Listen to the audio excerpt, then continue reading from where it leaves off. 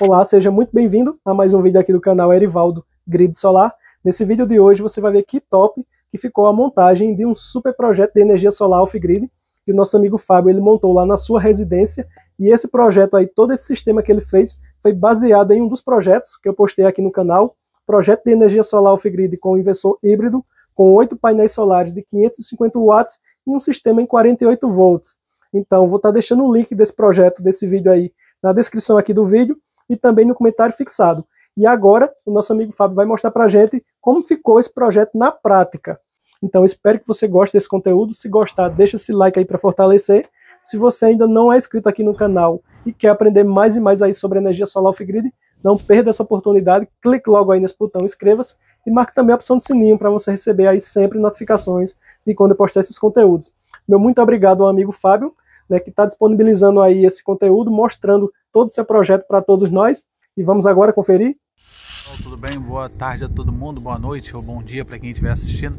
É, tá aqui meu sistema solar, mentira, né? Esse é um poste que não tem energia elétrica.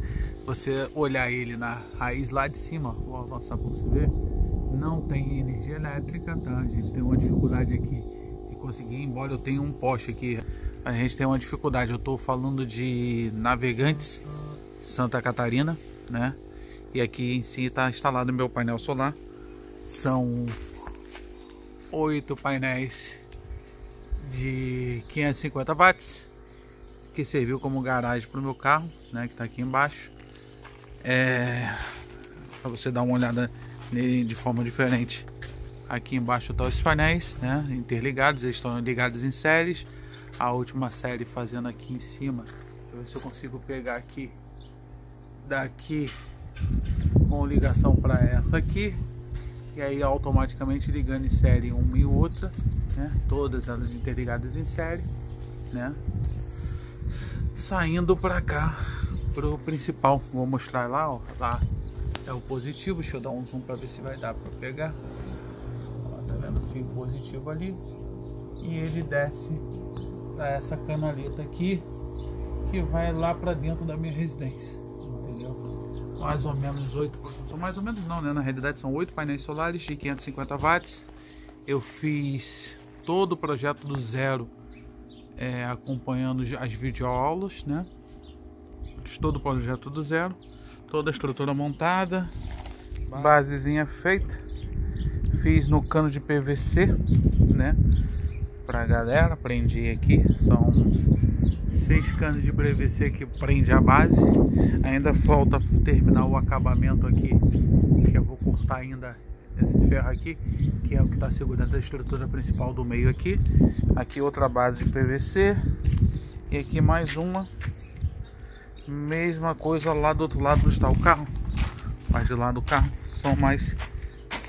Opa, deixa eu chegar um pouquinho para cá para poder claridade não atrapalhar. Mais um, uma base aqui. A segunda base já está mais ou menos coberta aqui, né? Onde vem o, o, o, o fio que vai para dentro da residência. E aí ele está percorrendo toda, que falta agora fazer o furo para jogar ele para dentro da, da calha. Ele vai lá para dentro da casa. Vou mostrar lá atrás para vocês verem. Só para acompanhar aqui, o fio ele continua. Vou embutir ele ainda, tá? Tem uma emenda aqui só para você ter uma ideia, a distância entre a, a fiação que entra aqui tá? para para lá onde está o painel, que é mais ou menos lá, tá? É onde está o painel, a distância é mais ou menos 25 metros.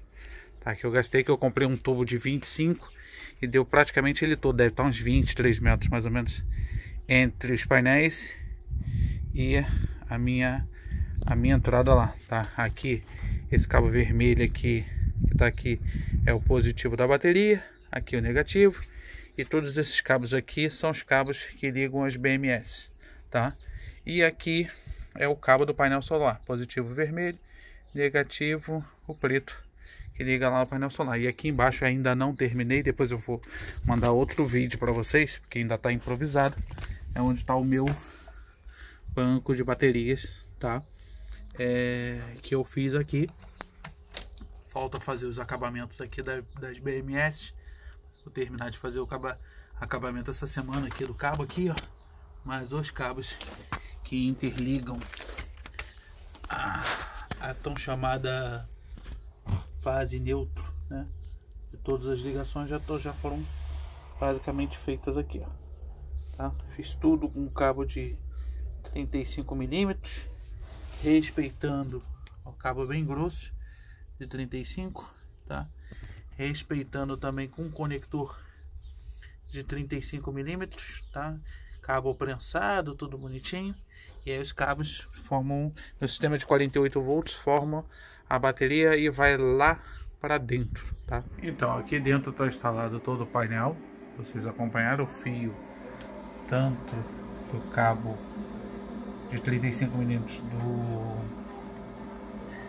das baterias saem aqui, entra num disjuntor de 100 amperes, né? Que entra para dentro do inversor, que é um inversor híbrido de 6.2. Tá aqui a especificação técnica dele aqui. Quem quiser ver, depois eu vou botar ele numa foto separada, vocês vão ter ele certinho aqui. E aqui no outro cabo vermelho que sai aqui, ele sai para interligar a parte de painel solar aqui onde está ligado aqui o positivo, aqui o negativo e a saída daqui para fazer a derivação para os DPS e do DPS para o aterramento, tá? A mesma coisa para o outro lado aqui, aqui tem as BMS para regular as quatro baterias, deixa eu ver se consigo focar melhor aqui para vocês verem, acho que aqui foi, foi, da, da marca Heltec, tá vendo? Aqui, a marca Heltec né? São de BMS, ligados aqui para você ver, desligadinho, carregando a bateria. E aqui sai, tem a saída, entrada e saída de AC do inversor, que sai para cá é a saída 220. Ainda falta eu ligar o DPS aqui que eu não liguei na, no, no aterramento, tá? E aqui a saída final de AC que vai para a residência, que o cabo tá saindo por aqui por dentro e saindo aqui na lateral, bem na lateral do meu do, da minha caixa de disjuntores. Que tem um marcador ali que está marcando zero, né? Zero watts, que não tem nada, absolutamente nada gerando energia agora pela rua, né? Ó, para você ver aí Tá vendo? A energia, essa é a energia que vem da rua. Entendeu? 199, 198. Tem horas que bate 180. Nunca bate 220. Entendeu? Essa energia aqui é do. Essa aqui é do aparelho. E aqui é o que está consumindo agora na minha casa nesse momento. É a faixa de 450, que é o sempre o meu consumo. Tá e aqui varia, ó, 184, 179, tá vendo? Sempre fica caindo, nunca fica estável tá? porque estou dividindo com mais três casas. E a voltagem do painel solar nesse momento é 354 volts, tá vendo? E a bateria está em 56 volts, carregadinha já, está com status de carregado aqui. E eu estou usando no momento a energia solar, a energia da casa, que é onde está o disjuntor da casa aqui, ó, tá zerada, não está gerando, ó, não está gerando watts. Tá voltagem aqui, ó, a voltagem aqui está em 197 tá vendo?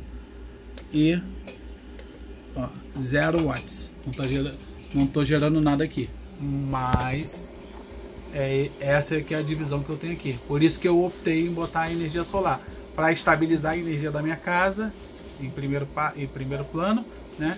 E em segunda questão é essa questão do do meu poste aqui não ter energia elétrica. Então, sistema pulsando aqui agora 3.000 350 watts, chuveiro elétrico ligado, tá? Consumindo zero de energia elétrica, tá? Da rua, tá? Zeradão, nem se mexe, tá vendo aí, ó? Teu watts zeradaço. Chuveiro elétrico ligado, tomando um banhozinho agora na parte da tarde, ó, e gerando o painel gerando 3.100 watts ó, 3 mil watts de energia, praticamente quase a mesma quantidade de watts que chuveiro elétrico está puxando e conseguindo tomar banho aí no chuveiro elétrico com energia solar, 100%. Puxando um pouquinho só da bateria, pouca coisa, tá? Dando uma sugadinha aqui nas baterias, tá?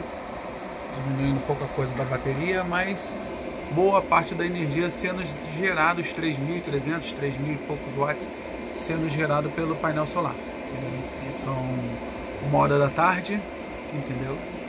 Gerando bastante energia solar e compensando isso bastante na, na energia, gerando aí 11, puxando 11,5 amperes da placa solar e puxando 7 amperes da bateria. 7, às vezes um pouquinho menos da bateria, mas ali o constante 11, 11,7 da placa solar, entendeu? E gastando ali ó 5 mil, nesse momento 5 mil watts, ó, 5 mil VA para casa, consumindo 5 mil VA, tá?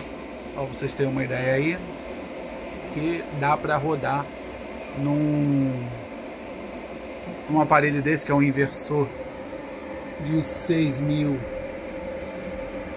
e 200 watts, tá? Energia com chuveiro elétrico em alguns momentos, não sempre, mas em alguns momentos consegue é, puxar energia através do painel. Então, basicamente, esse é todo o sistema aqui, tá? Para você estar tá acompanhando aí, tá bom?